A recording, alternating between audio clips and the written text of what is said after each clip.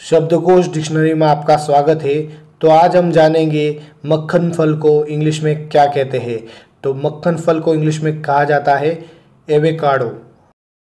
अगर आपको ये वीडियो पसंद आया है तो इसे लाइक और शेयर ज़रूर करें। साथ ही साथ हमारे चैनल को सब्सक्राइब करें, क्योंकि इसी प्रकार के और भी इंटरेस्टिंग और नॉलेजेबल वीडियोज़ हम लाते रहते हैं। बस आपके लिए धन्यवाद।